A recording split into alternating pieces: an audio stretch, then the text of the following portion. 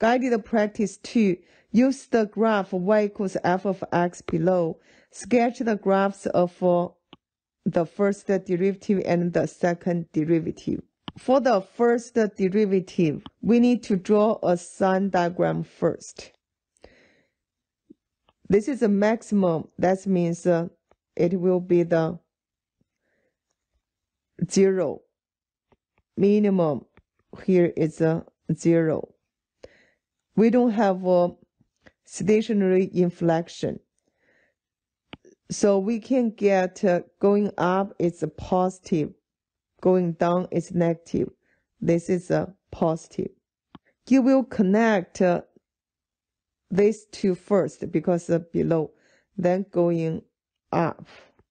Here it's going up. But check the inflection point. You see, I have inflection point over here. This will be the your maximum or minimum point on the f prime of x. Here, you do have a inflection point. Therefore, I will connect like this. This will be the maximum point, then it's going down. Now I will draw this graph on the original graph. So this part, it will be maximum or minimum. Inflection on the original function will be the maximum or minimum point on the first derivative graph. Therefore, I can draw like this. This part, I need a like a maximum.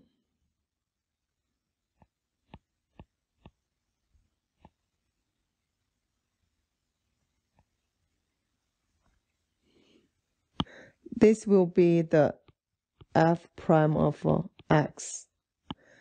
Now, let's draw the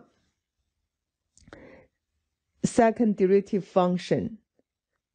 So for the inflection point, that will be the x-intercept for the second derivative. So we draw the sign diagram. Going up, this is a positive. Going down, that is a concave down. So here is a negative. Concave up, here's a positive. So you just need to connect these two. Then going up, going up. That's it. This will be the second derivative function. Now let's go to B. First of all, get the maximum minimum. This will be the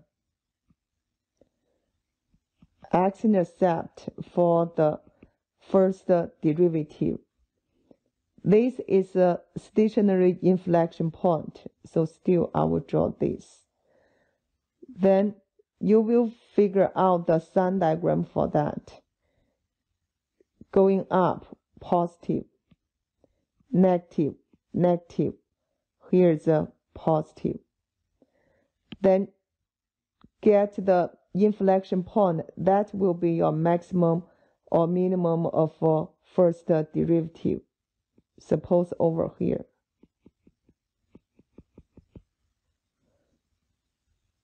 Here's the one.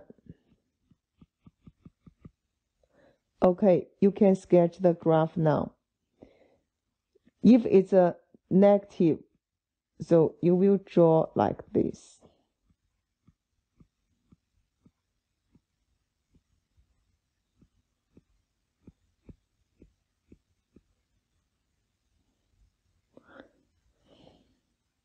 you need to make sure the minimum points is uh, on this uh, inflection here. So let's draw that nicely like this.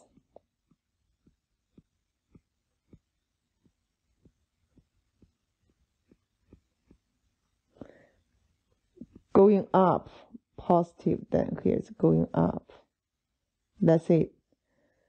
So how you draw the second derivative function? You find the, this inflection point, then draw the sign diagram. Going up, this is a positive. Here's a negative. This will be positive. So you need to just connect this going up. That's it. So this one is a second derivative function. If you are given the sign diagram, for example, I have a, this is a positive, negative, positive, the negative, here's negative. You have to know how to draw the graph. Say for positive, you just connect these two. Negative, go down. Positive, go up. Negative, go this way. And then here's going down. That's how you draw the graph if you are know the sign diagram. Let's go to guided practice 3. Use the graph of uh, first derivative below. Sketch a possible graph of uh, y equals f of x. Show clear the location of any stationary points and points of uh, inflection. Remember, this is uh, the first derivative uh, graph. Therefore, the x-intercept will be the minimum points or maximum points or stationary inflection. Then we figure out the sign. This is a below x-axis negative, above positive. Here's a positive. This point, it's a stationary inflection point because no sign change at this point and then the first derivative equal to zero. And uh, this point here, the maximum point, will be the inflection point, non-stationary inflection point. Now we can sketch the graph like this. Going up, going down is easy, so we draw the graph like this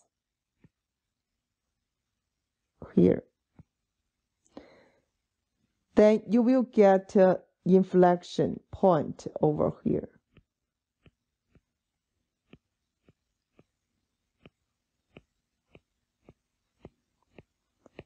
That this one still is a stationary inflection. Therefore, that will be the graph look like. We know this is a inflection point and this is a inflection point.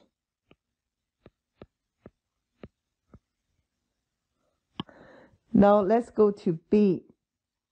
For the B part, this one, this is a x-intercept, which means uh, the maximum point or minimum point. Then draw the sign diagram. Above x-axis is positive, negative. Here's a positive. Then find the minimum or maximum point. It will be point of uh, inflection. We can sketch the graph like this. This is going up and then you're going down. This will be the inflection point here.